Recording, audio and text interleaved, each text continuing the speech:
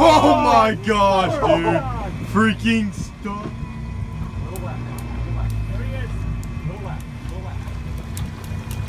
Oh my gosh. Got him. I got him. I got him. I got him.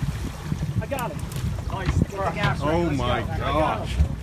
You want me to go on him again? Yeah. Come on. Get the gaff. I got a gaff right here ready. Guys, so uh, little update here. Um, Yeah.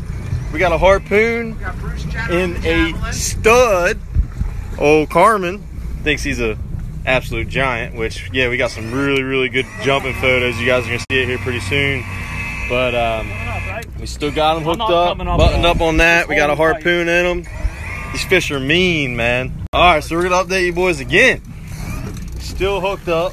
Got them on the LP. 900 feet down. 900 feet down. And hold on a second, I want to show you guys something. So it went through 500 plus another 250 feet of harpoon line. Then we had to put them on a conventional reel. Fighting them on both things, dude. This is crazy. Had this fish by the boat, threw two harpoons at him, stuck them with one. And uh, these boys caught some really big ones in the past. So they're saying, uh, we don't even know, over 400. This is a pretty sight. Finally got that wind on. About 150 feet out.